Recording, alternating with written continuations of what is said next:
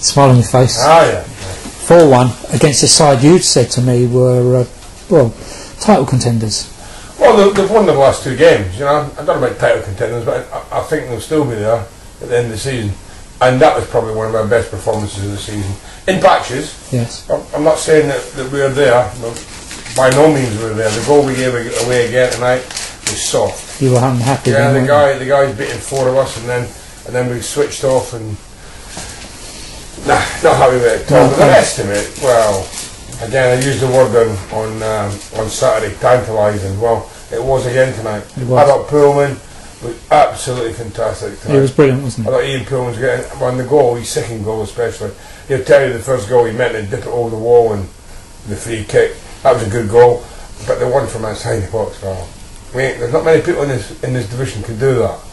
Pullman's one of them. There's We're- not many people in many divisions that can No, do that. It's we're awareness. He knew where the goal was. We're very fortunate to have him. We are, we are. But you know, there was a lot of good performances tonight. Yeah. But Matty Gill- Gillia done, done ever so well. You know, that's again he's he, he's had to take get his place and uh, of course the forwards. You know, Kane and Kane and Tom.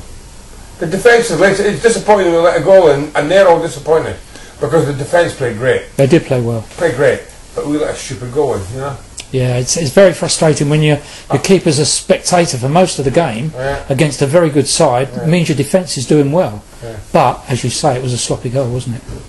Yeah, I mean that that was a good. He was a good player, their left back, though, wasn't he? Sorry, the left outside player, the eleven. Very, very good, very good. But what quality goals we scored? Ah, they're all good goals. We played.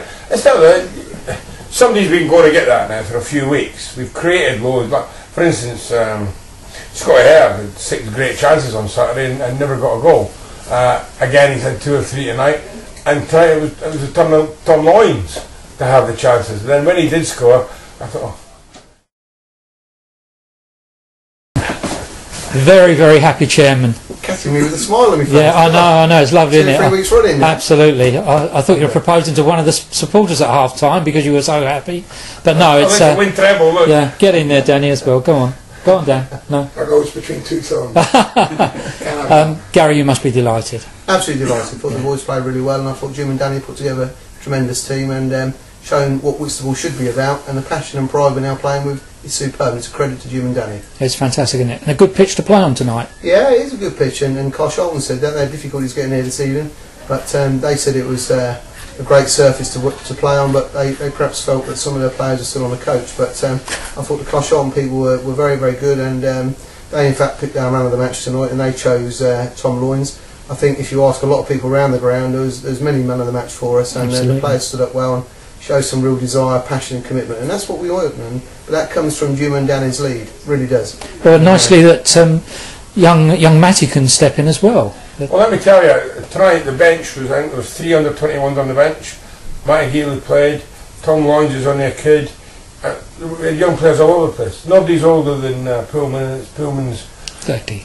tomorrow, it's his 30th birthday tomorrow, Yeah, you know. So, and he's our oldest player, by a street. By a street. So, nah, we, we came here, me and Danny, we came here with, with a vision to, to give it a couple of years and get us into the playoffs and have a go. We're a tad ahead of ourselves at the moment and we're still not happy the, the way everything is. Do you know what I mean, on, on the playing side. So, yeah, just keeps everybody happy. And all the people that are coming to pay and watch are enjoying what they're seeing. So let's hope we can keep doing that for them. Absolutely. Thanks very much. And uh, onwards and upwards on Saturday. Three Bridges away, I believe. Difficult. Yeah. difficult. It's, we, we can be better on the road. That's for sure. We, we, we haven't sort of like that's now six games here. I think one five and drawn one. That ain't bad. No. Anybody's book. That's fantastic. I think, I think we should note those. We've, we've had some excellent travelling support uh, this this year, and as always, and I think we're getting more and more people go to our away games. So you know, it's a fantastic spread of people getting to, to travel, and um, they've been an absolute credit. And uh, you know, we'd only like a few more people to come and watch us here at the Belmont and take advantage. And, and you know, we've got two or three games coming up, and October the fourth is our next home game, uh, Walton Casuals. So it's a couple of weeks away, and then October the seventh um, much fancy game against uh, Herne Bay in the Robert Dyas Cup. So, um, you know, let's get a few more people down there. Let's make it a real memorable night for all the right reasons and and uh, put on a feast of football for the Whitstable fans. We'd like to see more people here. Well, that's a great note to end it on. Thanks very much, gents. Thank you. Well done. Well done, boys. Thank you. Thank you, Gary.